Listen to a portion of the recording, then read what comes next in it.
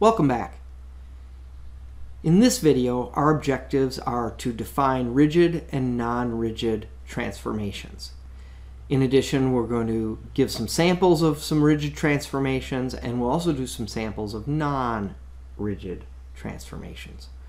So rigid transformations are transformations in which the basic shape of the graph of the parent function is unchanged. So things like horizontal shifts and vertical shifts and reflections. Now we did horizontal and vertical shifts in our previous video. So we, that we have seen, and those were examples of rigid transformations. What we didn't do in the last video was a reflection, and that is reflecting the graph over the x or y axis. So you can see here we have a couple different kinds of reflections. Uh, we'll do a, a sample here of a reflection, which is a rigid transformation of a parabola. So we're actually going to be doing two uh, transformations here. So we have the opposite of the quantity x minus 3 squared. So our graph in this particular sample is going to be shifted 3 units to the right.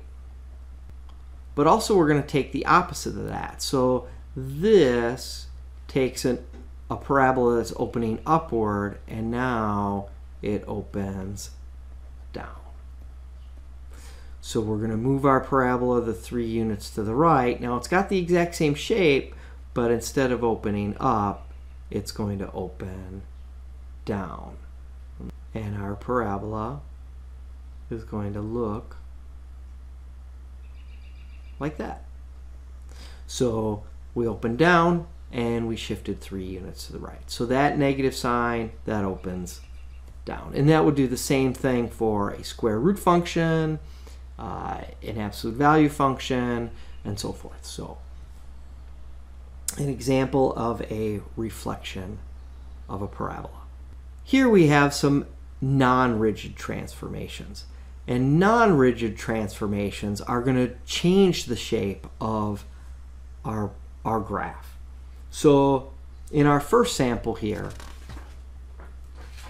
3x squared, now I've got a graph of x squared already here.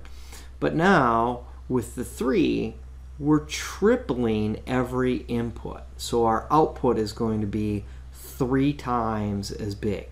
So with 1x squared, when we input 1, we output 1. But now when we input 1, we're going to multiply it by 3. So we won't normally do this, but right, 3 times 1 squared.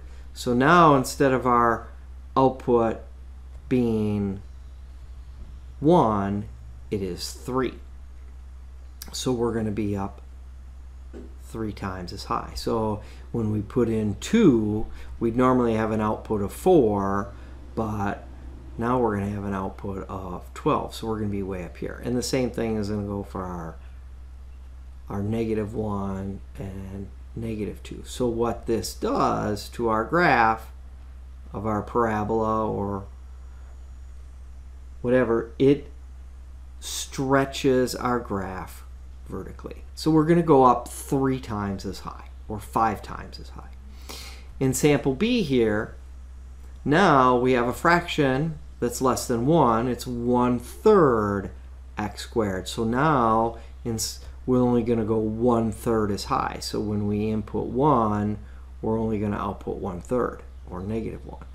Okay, when we input 2, okay, we're going to output 4 thirds. So that creates a flatter graph or a vertical shrink. So we've actually changed the shape of our parabola here. Okay? And it makes it a wider one. A couple different samples.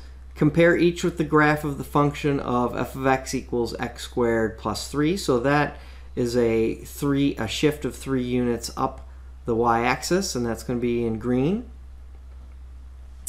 And we'll do sample A in red here. So we want to graph f of 3x. Okay? So we have to take 3x and put it in for x, and that gives us 9x squared plus 3. So we're still going to shift up 3 units, but now for every input, now we're going to be 9 times as high. So that is going to be a narrowing or a horizontal shrink. I think we last called it a vertical stretch of our graph. And then we'll do something similar in sample B. Find f of 1 third x. So we have to put 1 third in for x. So 1 third x squared gives us 1 ninth x squared. So now this is going to be much flatter or wider. Okay, so we have a much wider, because we're now we're only going 1 ninth as high. So that's going to be a super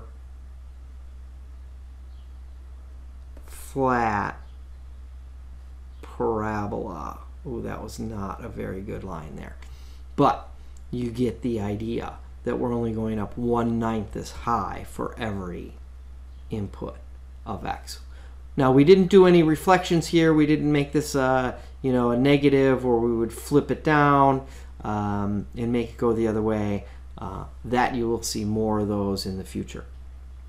So a little summary of uh, rigid and non-rigid transformations. Remember a rigid transformation is a horizontal or vertical shift, keeping things the same shape, whereas a non-rigid is going to change the shape of our parabola.